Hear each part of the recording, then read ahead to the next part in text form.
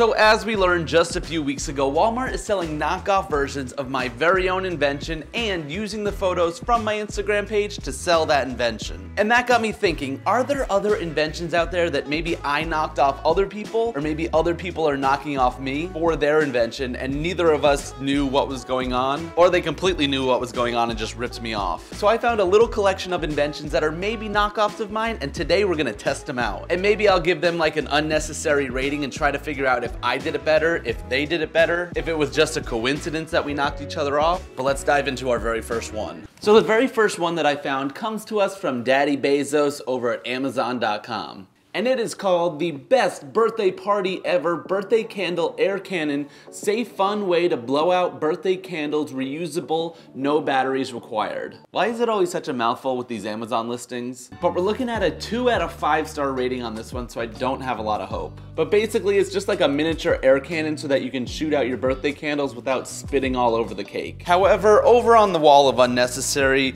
we've got the candle cannon. And i came out with this invention on september 20th, I think it was, over on Instagram. And it was pretty much the same concept, so you have these two little slots that you can slide your fingers into. I think I did it backwards. I don't even know how my own inventions work.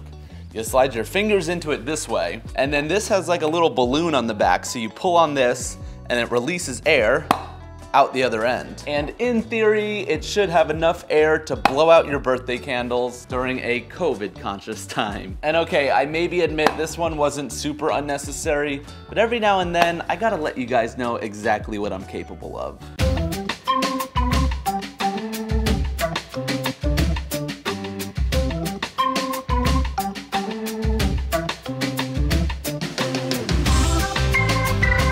But here we have the knockoff candle cannon, so let's go ahead and get it unboxed. I like how the packaging kind of matches my shirt here.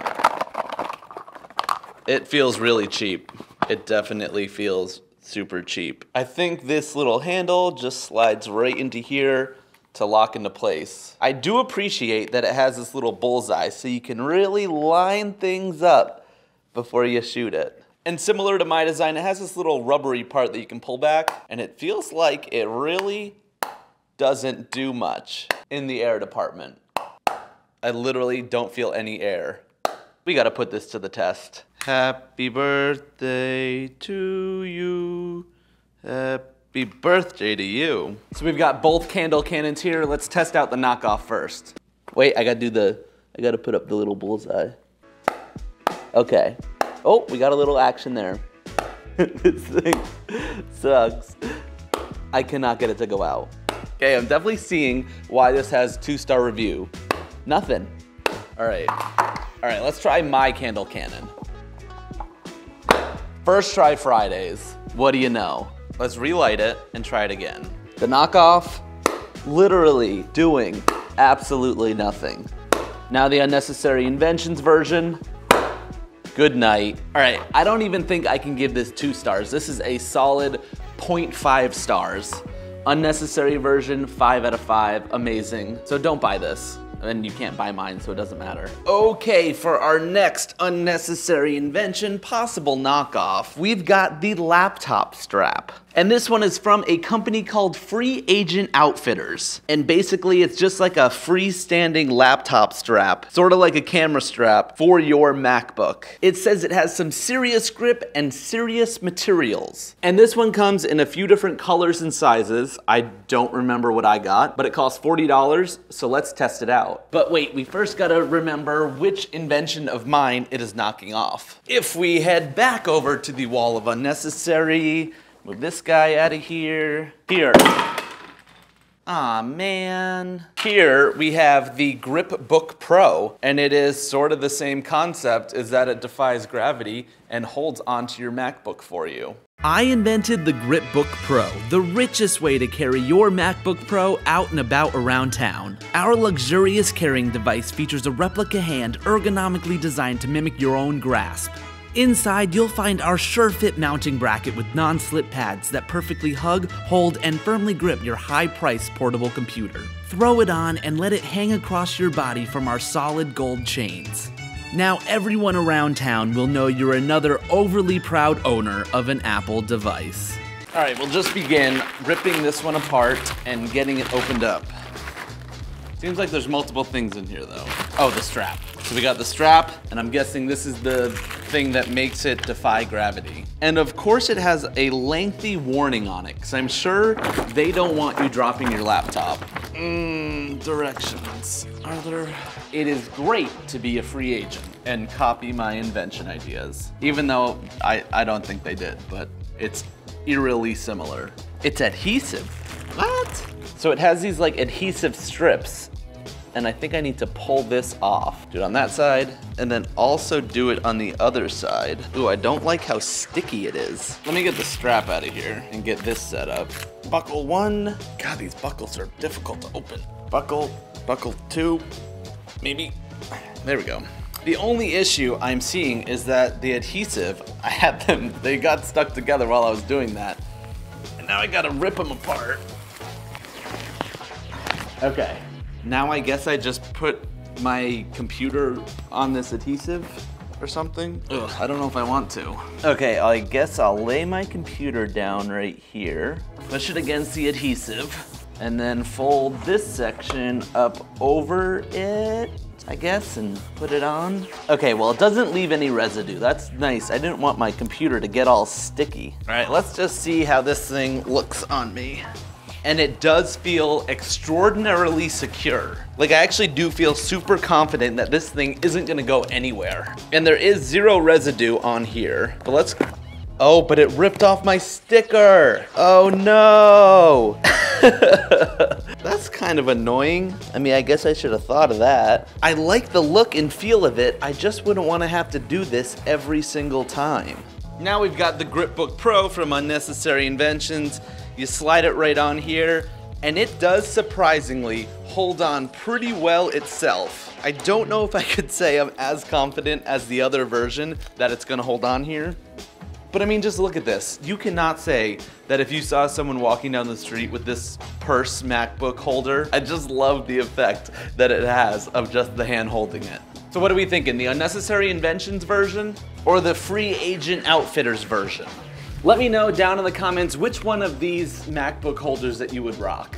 I think you know the answer to mine. For our third invention, I'm actually kind of excited about this one. This one was actually on Shark Tank, and it was like the next morning I posted my version of it and everyone was commenting, didn't I just see this on Shark Tank last night? So the sequence of events on this one is actually pretty funny.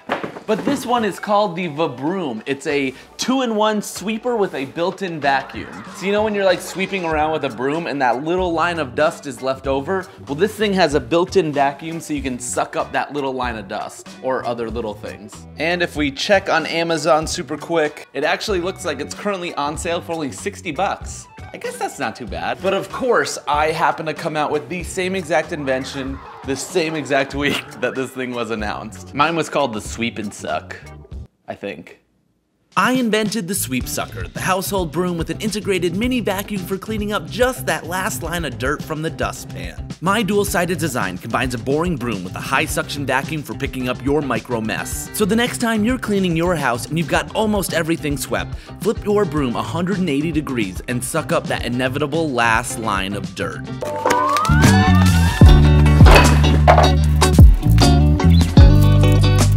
And I think I'm fully assembled. My very first impressions is that it seems pretty quality. For whatever 60 bucks it is, it seems like it would do the trick. My only apprehension would be that I don't wanna have to charge my broom. You know, it's like if you're brooming, you're brooming. And if you're vacuuming, you're vacuuming. But I guess I could see where this could come in handy. I mean, I'm probably gonna use it. And so how it works is here on the broom, it's got this little tank right here that catches everything. And the way you activate it is when you push it on the ground, the vacuum goes off. Which that seems pretty smart to me, because you want it off when you're brooming, and then when you want to do it, you just... I just cleaned the entire studio, so it's actually not too dirty in here. Maybe we're gonna have to make a mess to test it out. Once again, here's my version of the vacuum, and I can't lie, it actually kinda sucks. you get it? It kinda sucks. It's pretty ergonomic, so I have a little vacuum built in here, but I don't think the battery is charged. So you would go ahead and sweep up everything you're sweeping up, and then you flip it upside down and vacuum off that little line. and it's already falling apart. While the broom here, you know, you're sweeping, sweeping, and then I actually feel like I approve of that. Let's go ahead and make a little line of crumbs to see how this thing sucks up. Well, I guess I could always just sweep it into a line. Okay, let's see how this thing works. Oh, look at that. It is sucking up every last piece of dirt. I missed one. I missed two. I gotta say, I am impressed. We got everything in that little hopper right there, and it would have been super easy if I had to use. So I hate to admit it, but mine versus theirs, I think they won. That's okay, I don't have to be the best at everything. For the next invention, I need to set up a little workstation here, and if you work from home, this thing might be just what you were looking for. We'll get my computer again and set up my webcam. Because have you ever been working from home and maybe you just want to wear your PJs all day, but you gotta hop on a few Zoom calls? And that's where the next invention comes into play. Business on top, party on the bottom. Because it's called the Work Wonnie. And it's a one-piece suit, I believe, that is going to be pajamas on the bottom and business attire up top. Which of course I exactly to the T invented and came out with. But to be fair, it's sort of like low-hanging fruit because who didn't think of this invention during COVID? First impression, quality's there, Qual quality is there.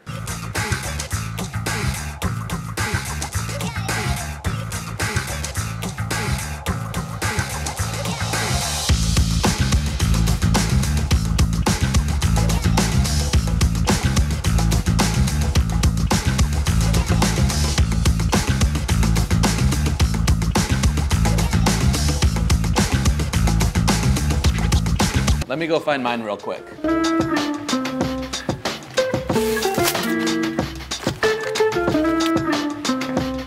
Because I wanted to show the one difference of why I maybe like mine a little bit more over the official one you can buy. Mine are like feety pajamas and these ones just are like sweatpants. I wanna keep my toesies nice and warm too if I'm working from home. But other than that, pretty much the same exact concept. Oh, mine has another feature. It also as a butt flap. So if you gotta go to the bathroom in the middle of the day, you got a butt flap. Mine's already looking better as time goes on. well, let's go ahead and try this on. I mean, sure, I look pretty good. I gotta say I look not bad. And it's comfy enough. I would say that I don't necessarily look like I'm the evil genius of unnecessary inventions, but if I had to hop on some Zoom calls to look like a sales executive at a Fortune 500 company, sure, I guess I look pretty good. We didn't look up what the price of this was though. So let's see, the original Work Wonnie, $59. I don't know how I feel about that price. Is it a lot? I don't know. I mean, for the most part, I say it does look pretty good and it feels pretty good. Oh, it says, it says there's a butt flap. Oh yeah, there's definitely a butt flap up in there. Okay, so they at least get a few bonus points for that.